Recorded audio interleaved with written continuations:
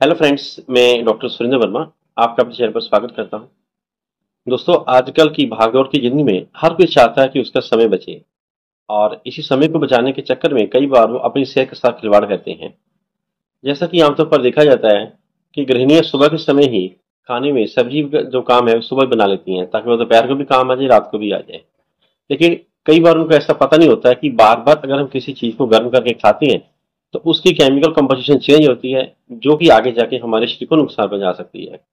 और कई बार तो मजबूरी भी होती है कि वो ऐसे बना के जाती हैं कि दोनों हस्बैंड वाइफ काम करते हैं ऑफ़िस जाते हैं, शाम को बच्चों को भी आके देखना है। इसलिए उनको समय, रहते, सब्ज़ी बनाने का टाइम नहीं मिलता है, जिसके कारण वो ऐसा करने पर मजबूर होते हैं। लेकिन फिर भी कुछ ऐसी परिस्थितियाँ होती हैं जिसमें हम इसको दोबारा गर्म करके खाते हैं। लेकिन दोबारा गर्म करके खाने में क्या उसकी नुकसान होती है, ये आज हम इसको वीडियो में बताऊँगा। तो वो छोटी सी कॉमन सी चीज़ें हैं जो हम आमतौर पर गर्म कर खाते हैं और हम उसको घरेलू तौर पर आमतौर पर यूज़ करते हैं। और कौन सी वस्तुएँ हैं जिनको दोबारा गर्म करके नहीं खाना चाहिए तो उसको जानने के लिए चलिए शुरू करते हैं आज का वीडियो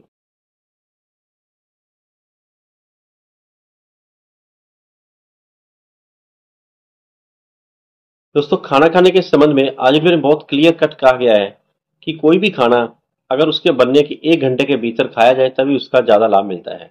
अगर इसे लेट खाएँगे तो उसका लाभ कम और नुकसान होने के चांसेस ज़्यादा रहते हैं। इसका सीधा सा अर्थ है कि हमें हमेशा ताज़ा भोजन ही खाना चाहिए। अब अगर मान लीजिए किसी की मजबूरी है, ऑफ़िस में जाते हैं, उनको घर में सुबह ही खाना बना के जाना पड़ता है तो उसको कैसे प्रिजर्व करें, ये आपको इस वीडियो के लास्ट में बताऊँगा, ताकि उसका बेनिफिट आपको ज़्यादा मिले और नुकसान कम हो। दोस्तों, सबसे पहले नंबर पे आता है कि कुकिंग ऑयल। अगर हम घर में किसी प्रकार के तेल का उपयोग करते हैं, किसी चीज़ को तल के खाते हैं तो जो ऑयल होता है, उसको एक ही बार उपयोग करें, उसको दोबारा से उसको यूज़ करके, उसको खाने के लिए यूज़ ना करें। क्योंकि कुकिंग ऑयल अगर हम जितना बार बार उसको गर्म करते हैं तो उसके अंदर जो ट्रांसफैट बन जाता है। दोस्तों ट्रांसफैट को बताता हूँ कि ट्रांसफैट ऐसा छिपछिपा पदार्थ होता है, जो कि हमारे अंदर नसों में जाकर जम जाता है कोलेस्ट्रॉल वगैरह को जम जाता है, जिसके कारण आगे जाकर नसें बंद हो जाती हैं और ये हार्ट अटैक वगैरह करने के चांसेस से बढ़ जाते हैं। तो इसलिए कुकिंग ऑयल अगर आप यूज़ करते हैं तो एक ही बार उसको यूज़ करें, दोबारा उसको यूज़ ना करें। दूसरे नंबर पे आता है, सब्ज़ी में प्रधान आलू। जी हाँ दोस्तों, आलू जो तकरीबन हर सब्ज़ी में पड़ता है और किचन में हमारा डेली यूज़ होता है, लेकिन इसको भी बार बार गर्म करके नहीं खाना चाहिए। उसका कारण ये है कि आलू के अंदर एक बैक्टीरिया होता है, जिसका नाम है क्लोस्ट्रेडियम बोटोलिनियम ये आगे जाके एक डिज़ीज़ पैदा करता है, जिसका नाम है बोटोलिज्म इस डिज़ीज़ में होता क्या है कि आदमी अगर बार बार इस चीज़ को खाता रहता है, आलू को गर्म करके तो उसको बेचैनी रहती है, घबराहट होती है और कई बार उसको ऐसे लगता है उसका पेट खराब हो गया है इनडाइजेशन से रहती है और पेट फूला रहता है। वो इसलिए होता है कि इसके अंदर जब बैक्टीरिया जब वो ग्रोथ करता है तो हमारे डाइजेशन जो सिस्टम उसको डिस्टर्ब कर देता है। इसलिए आपने कई बार देखा भी होगा, कई बार कई छात्र लोग बोलते हैं कि हमने कल से आलू खाए तो उसको हमारा पेट खराब हो गया, उसका कारण यही है कि बार बार उसको गर्म करने से ये उसके अंदर प्रॉब्लम रह सकती है। इसलिए आलू को भी ताज़ा खाएँ, कभी भी गर्म करके ना खाएँ। दूसरे नंबर पे आता है चावल। ये दोस्तों, चावल तो हम आमतौर पर रात को बनाते हैं और सुबह ज़रूर खाते हैं, लेकिन इसको भी ऐसा नहीं करना चाहिए। उसका कारण ये है कि कच्चे चावल के अंदर एक बैक्टीरिया होता है, जिसका नाम है बेसिलस सीरस ये बैक्टीरिया कच्चे चावल के अंदर रहता है, लेकिन जब इसको पका लेते हैं, तब तक तो इसकी ग्रोथ नहीं होती, लेकिन जब पका के इसको हम ठंडा करते हैं ठंडा करने के बाद इसकी जो मल्टीपलिकेशन है ग्रोथ है, बहुत जल्दी होती है। जिसके कारण अगर इसको हम दोबारा गर्म करके खाते हैं तो ये बैक्टीरिया मरता नहीं है, लेकिन इसकी मल्टीप्लिकेशन तेज हो जाती है। तो इसलिए जब हम दोबारा गर्म करके चावल खाते हैं तो हमें कई बार इंडाइजेशन या पेट की समस्या संबंधित प्रॉब्लम होने लग जाती है। तो चावल भी दोबारा गर्म करके नहीं खाना चाहिए। आमतौर पर हम देखते हैं कि रात को बना के खाते हैं, सुबह नाश्ते में खाते हैं तो ये हमारे इंडाइजेशन का कारण हो सकता है। उससे अगली बात करते हैं, उसमें आता है पालक और हरी सब्ज़ियाँ। ये दोस्तों, पालक और हरी सब्जियों के अंदर नाइट्रेट नाम का एक तत्व होता है। जब इसको गर्म करके खाते हैं तो यह नाइट्राइट में कन्वर्ट हो जाता है, जो कि आगे जाके कार्सिनोजेनिक, यानी कैंसर जैसी बीमारी को पैदा कर सकता है। अब कुछ लोग बोलते हैं कि जैसे हम साग खाते हैं, उसको जितना ज़्यादा गर्म करके खाएँ, पुराना खाएँ, उतना ज़्यादा उसका स्वाद आता है। वो आपकी बात ठीक है, स्वाद तो उसका आता है, लेकिन बाद में उसको गर्म करने से उसके जो बेनिफिशियल तत्व होते हैं, वो हमारे कम हो जाते हैं, लेकिन उसका नुकसान के चांसेस ज़्यादा रहते हैं। आपने देखा भी होगा, कई बार हम अगर हरी सब्ज़ियाँ ज़्यादा गर्म करके बार बार खाते हैं, एक या दो दिन तो हमारा पेट खराब हो जाता है फ़ूड पॉइजन होने का डर रहता है। और फ़ूड पॉइजनिंग होने का कारण इसको बार बार गर्म करना ही होता है। तो इसलिए पालक को भी दोबारा रिपीटली गर्म करके या ही रीट करके नहीं खाना चाहिए।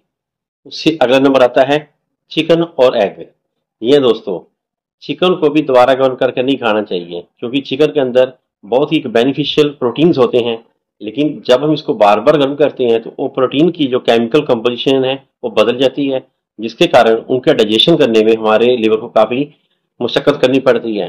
तो इसलिए वो खाने में किस तरह कह सकते हैं, भारी हो जाता है, उसको पचाना मुश्किल हो जाता है। तो जितना ज़्यादा आप इसको रीहीट करेंगे तो उसकी केमिकल कंपोजिशन बदलने से आपके अंदर उबकाइयाँ आना, उल्टी या समन होना, कई बार तो किसी को लूज मोशन भी लग जाते हैं पेट फूल जाता है, अफारा हो जाता है। ये उसी केस में होता है जब इसको बार बार रिपीट गर्म करके खाते हैं। इसी प्रकार के एग है। एग को भी अगर हम खाना है तो एक ही बार में उबाल के खा लें। बार बार उसको उबाल के खाने से उसके अंदर जो प्रोटीन होता है, वो उसके प्रोटीन तब नष्ट हो जाते हैं, जो कि हमारी डाइजेशन प्रॉब्लम क्रिएट करते हैं। उससे अगला आता है हमारी सबकी मनपसंद चाय टी या दोस्तों, चाय को भी बार बार गर्म करके नहीं पीना चाहिए, क्योंकि चाय के अंदर मौजूद टैनिन्स होते हैं। वो हमारे डाइजेशन सिस्टम को काफ़ी बिगाड़ कर रखते हैं, जिसके कारण बेचैनी होती है, घबराहट होती है और कई बार तो लूज मोशन भी लग जाते हैं। और यही टैनी जो है, हमें कई बार ज़्यादा इसका साइड इफ़ेक्ट आए तो चक्कर भी आते हैं तो कई बार आदमी गिर भी जाता है। तो बार बार चाय, गर्म करके नहीं पीते चाहे जब भी पिए, इसको फ्रेश बनाएँ, ताज़ी पिए, ताज़ी चाय का अपना एक महक है और अपना एक स्वाद होता है। अब बताता हूँ कि मान लीजिए किसी की मजबूरी है, वो सुबह खाना बना के जाता है, उसको दोपहर आने का टाइम नहीं है, दोबारा फ्रेश बना सके रात को आने के थके महसूस होते हैं, नहीं बना सकते हैं तो क्या करें? अगर आप सुबह खाना बना के जाते हैं खासतौर पर सब्ज़ियाँ तो उसको बचाने का एक तरीका है कि जब सुबह आप सब्ज़ियाँ बना के जाते हैं तो जब वो ठंडी हो जाए, उसको तुरंत ही फ्रिज में रख दें। फ्रिज में रखने से उसके अंदर जो बैक्टीरियल ग्रोथ है, वो कम होती है, उसको कभी भी रूम टेम्परेचर पर छोड़ के नहीं जाना। फ्रिज में रखने से उनकी एक फ्रेशनेस बनी रहेगी। और जब आप उसको शाम को आकर खाते हैं तो उसको फ्रिज से निकाल कर थोड़ी देर दस पंद्रह मिनट रहने दें और उसके बाद कोशिश करें कि उसको एकदम तेज हीट पे गर्म ना करें। इससे आपके जो लाभदायक तत्व होते हैं, वो नष्ट होने के चांसेस बढ़ जाते हैं। अगर आपको फ्रिज वाली चीज़ को निकाल के खाना ही है तो उसको ज़्यादा तेज आँच पे गर्म ना करें और उसकी हीटिंग प्रोसेस भी थोड़ा स्लो ही होनी चाहिए। एकदम तेज हीट पे नहीं गर्म करना है। इससे उसके पौष्टिक तत्व नष्ट हो जाते हैं, जो कि आपको फ़ायदे या नुकसान भी पहुँचा सकते हैं। तो दोस्तों, ये कुछ एक कॉमन चीज़ें जो कि हम आमतौर पर गर्म करके खाते हैं। अगर आप इन चीज़ों का ख्याल रखेंगे, सीधी सी बात है, जितना खाना है उतना बनाइए, ताज़ा खाइए, तभी आप तंदुरुस्त रहेंगे। नहीं तो आगे जाके आपको प्रॉब्लम आ सकती है। कई लोग पूछते हैं, हमने रात को चावल खाए, पिछले कई साल से खाते आ रहे हैं, हमें कोई प्रॉब्लम नहीं हो रही है। ठीक है, अभी आपको प्रॉब्लम नहीं है, लेकिन आगे जाके ये आपको प्रॉब्लम क्रिएट कर सकता है, क्योंकि आपका डाइजेशन पावर धीरे धीरे कम हो जाएगी। लिवर के ऊपर इसका साइड इफ़ेक्ट जब शुरू होंगे, तब आपको प्रॉब्लम क्रिएट होगी।